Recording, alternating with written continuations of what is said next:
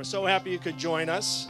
And we have a chance to raise money for Boston Public Schools today. And we have several friends of ours that are going to help out. This is for me always one of the fun events because it's the beginning of school. You get to have some fun today. And it's also making sure that you start your school year strong, making sure you have all the supplies you need and a whole bunch of kids. There'll be 4,000 backpacks packed. So we want to make sure young people get a chance to start school the strong way. So I have spent some of my summer with your teachers and your school leaders and principals, and they are so eager to see you all in their schools. Everything I do, STEM is part of it, whether it's science, in some of the things that we do with Public Works, technology is all over my office engineering, we're building new bridges in our city, we're building new ideas in our city, and math, I have to run the budget, so if I don't get that right, we're in trouble.